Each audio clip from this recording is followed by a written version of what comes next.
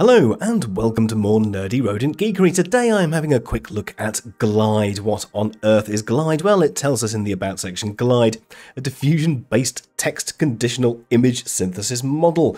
Now with example files for local running because this is my fork of it. So let's go and have a look at the paper. They've got a link there to the paper. So I click on that, go to the PDF, and we can see here all sorts of things. Great there. They've got an introduction images such as illustrations, paintings, and photographs, can often be easily described using text, but can require specialized skills and hours of labor to create. Mm. Therefore, a tool capable of generating realistic images from natural language can empower humans like us, even nerdy rodents, to create rich and diverse visual content with unprecedented ease. That's right, you type in a bit of text and it gives you a picture. So there we go, a hedgehog using a calculator, corgi wearing a red bow tie and a purple party hat. Hmm. Yes, now I think these are all from their from their big model, from their big model, and they've only given us a little model to play with, so never mind. You won't quite get these results. I've tried and my results aren't anywhere near as good as any of those, but you can do all sorts of things. Like you can also do in painting here. So you can select a region of the image there and put zebras in it. There you go. It, it's that picture, but it's got zebras. Or you can you can change the the dog there to a corgi. There you go. She's she's now hugging a corgi. Or a man with red hair. Change the hair bit to red. There, fast. It you know, there's there's so much fun that you can have there, isn't it? Look, you can get rid of tables. You can add tables. You can put a vase on the table. Add hats to dogs. You, you could probably add hats to cats as well. Imagine the fun you can have with that, putting sunglasses on things. Right, anyway, there you go. So there's there's there's the paper. You can read that, you can have a look at the examples, you can see all the different things about diffusion models and look at lots of nice graphs and, and, and yeah. So there you go, there's the paper, there's the paper. Now, there are some caveats, so we'll have a look at this model card over here. So datasets, um, the, the dataset that they had in there um, was not this one, this is a filtered one. Uh, this is 67 million text image pairs, so it's still absolutely massive. Um, and uh, yeah, yeah, it's it's got a few things missing. So um, intended use, we, we release these models to help advance research in generative modeling. Due to the limitations and biases of Glide, uh, we do not currently recommend it for commercial use, which is fair enough, but it does still generate nice images which you can use for other things. You could use it as a base image for something. So yeah, that's what I've been using this as well as uh, RU DALL-E for creating base images um, for PyTTI and VQGAN and all those other things to create completely new um, works of art. But uh, yes, this this has got some some restrictions. Um, you can't generate faces, uh, portraits of people, so there's no there's no people in here. Um, they they've uh, they're also noting here some biases. So uh, it produces different outputs when asked to generate toys for boys and girls. Uh, it gravitates towards generating churches when asked for a religious place and all sorts of things in there. So there are some biases, there are some limitations, uh, things like that. So be, be aware that you may not necessarily get um, exactly what you want when you ask for it in text format. But never mind. So here we go. Let's let's have a look at installing and running this locally, shall we? As I always do. Pip install minus e for the speedy ones. Right, okay, so here we go. Requirements you will need, of course, an NVIDIA GPU with its drivers and the CUDA toolkit, and I am using Anaconda. You could use Anaconda or Miniconda. Either of those two will do for all of these. So you will, of course, need to first create a new Anaconda virtual environment for your little Python there. Conda create minus minus name. I called it Glide because I am perfect at names, and I'm using Python 3.9. Obviously, once you've created your environment, you can activate it like I have down here. There it is. It says glide down there. That that is my glide environment. So once uh, once you've done that, you will actually need to completely ignore uh, what it says on the screen over here and not do pip install minus e just yet because you want to install PyTorch first. Yes, uh, otherwise it doesn't give you the proper GPU version, or at least it didn't with me. Anyway, there you go. You can pip install Torch. Um, if you want to go over to the Torch website and get the thing, that's fine. Links down in the description for all of this anyway. But yes, install PyTorch first, uh, and then you can do pip install minus e, and that will install the rest of it. Now, the main changes I've made in my fork is these are all Colab notebooks. Of course, you can still click on those and go to the original notebooks, but I've, I've added them as there's little Python files there. So you've got text to image in Paint and clip guided. So then, then you can just run them locally, which makes everything ever so much easier, doesn't it? Doesn't it make things easy?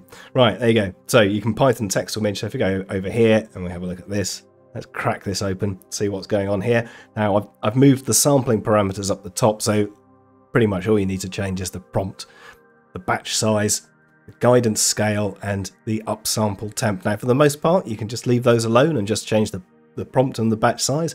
That's fine, just change those two. So, so there it is. There's the text to image. Let's run it, shall we? Let's run it. Okay, there we go. Python text to image.py. It, it's running. Now, as you can see here, the prompt is a nerdy rodent. That's me. It's going to create me. What do I look like to an AI?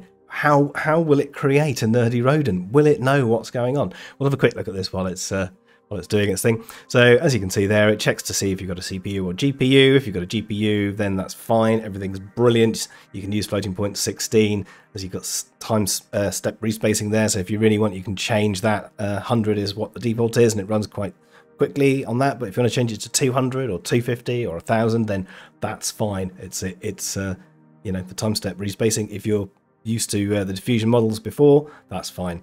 Uh, and also down here, that will do some basically some 64 by 64 images. So it does them quite small to start with, does a little sample, and then it upsamples it. So it goes, oh, okay, I've got all these 64 by 64 images, and I'm going to make them into 256 by 256 images, and then I save them. So it's a little bit different to the notebook. The notebook doesn't actually save the images, it just shows them, uh, and this also um, saves them one by one as well. So rather than just getting a strip of images, you'll get the individual images appear. So let's have a look at them. There they are. So if you're just using the notebook, that's what you'll get. You'll get the strip. There you go. Three rather nerdy looking rodents. I quite like him. He's good, isn't he? Yeah, that's that's my expression now. Uh, but my change is you also get the individual images as well. So there you go, you get them separately. Um, no, you can't make it uh, different sizes. Um, it's 64 by 64 or 256 by 256 upscaled. Um, that's that's it. uh, but you can, of course, use another upscaler. Um, you know, if you want to use Waifu 2x or whatever to upscale that to uh, 8K, be my guest. Be my guest. So there you go. There is the basic one. The basic one. Now, the next one you got here is the in painting. Yes, the in painting. Let's close that one down.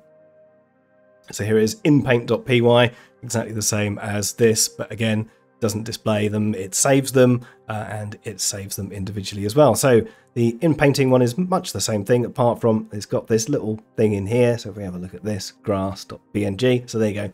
So that's the, the PNG it comes with. It's a it's a picture of some grass. There you go. It does exactly what it says on the tin. And uh, and up here we've got the prompt here as well. A nerdy rodent in a field. So what what do you reckon this one's going to do? What do you reckon? Well, let's let's do it, shall we? Python inpaint.py. There we go. It's running through exactly the same as the other thing, basically, apart from this time it's also reading in this image, and then you can apply some masks to it. You just zero out those. So that's a little uh, sort of rectangular mask from the top down, uh, 20 pixels down, or you can do non-rectangular masks. You know, you can put multiple source masks in there, have a mask whatever shape you like, um, like you saw it in the paper there, and uh, that'll do basically exactly the same thing as the other one. It will create the 64 by 64 size images, upscale them, and then save out the samples. So let's go and have a look at those. So here's our new nerdy rodent in the field. So there's the strip. If we have a look at the individual ones, there there he is. As you can see, the, the top bit is the same all, all the time. So it's sort of different from there downwards. We've got all sorts of different rodents in fields.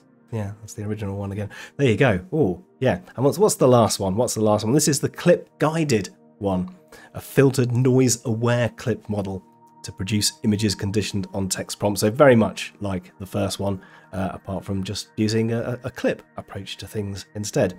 So let's have a look at that one. Clip guided. Crack that one open. There you go. A nerdy rodent. Let's let's have a go at this. Python. Clip guided. Again, same thing, nerdy rodent, batch size 6 this time. You know, you just change those things. Again, goes through, does exactly the same thing, apart from this time, it's, it's got a clip model in there as well instead.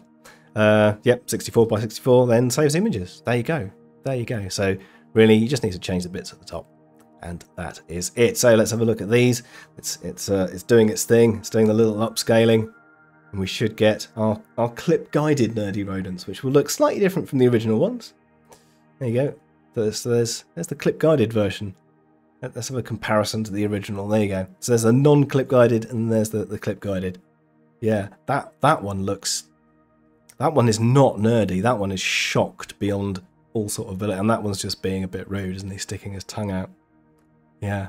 Anyway, there you go. Glide. It, it's a bit like clip guided diffusion, but it's it's not. It's still fun though. Anyway, go and have a play. Rodent out for now.